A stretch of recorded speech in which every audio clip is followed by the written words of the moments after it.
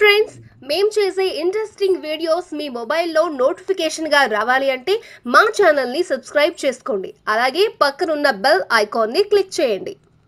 Hello friends ఎలా ఉన్నారు?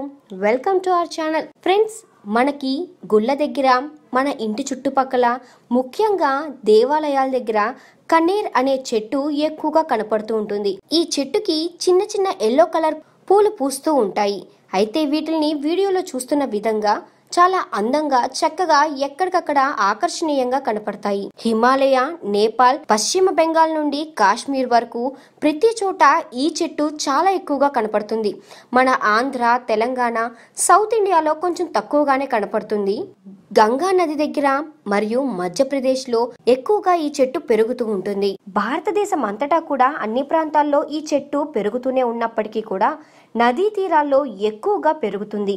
ఆ నది నుండి వచ్చే లవణాల వల్ల ఈ చెట్టు చాలా త్వరగా పెరిగి ఎంతో ఆకర్షణీయ రంగులో పూలని ఇస్తూ ఉంటుంది. ఈ కన్నీర్ చెట్టు యొక్క పూలు మే నుండి అక్టోబర్ వరకు అధిక సంఖ్యలో వస్తూ ఉంటాయి. ఈ చెట్టుని రాజస్థాన్లో రాజస్థాన్ యొక్క గులాబీ అని కూడా పిలుస్తారు. ఈ కన్నీరాకుల యొక్క రసంలో ఎన్నో రకాల ఔషధాలు దాగి ఉన్నాయి. కానీ ఇది టేస్ట్కి మాత్రం ఎంతో చేదుగా కషాయం లాగా ఉంటుంది.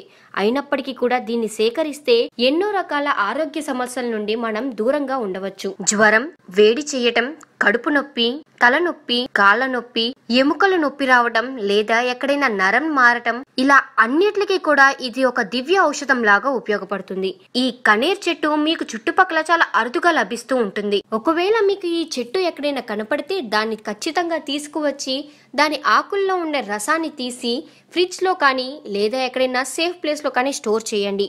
ఈ రసం వల్ల ఎన్నో రకాల ఉపయోగాలు ఉంటాయి. ఉదయాన్నే బ్రష్ చేశాక పరగడుపున ఒక గ్లాస్ పాలల్లో కానివ్వండి ఒక గ్లాస్ వేడి నీళ్ళల్లో కానివ్వండి ఈ ఆకు యొక్క రసాన్ని నాలుగు చెంచాలు వేసుకుని తాగితే అన్ని రకాల అనారోగ్య సమస్యలు దూరమవుతాయి.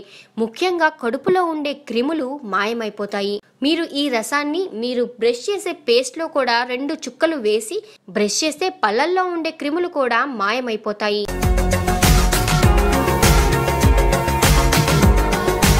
మరిన్ని అప్డేట్స్ కోసం మా ఛానల్ని సబ్స్క్రైబ్ చేయండి.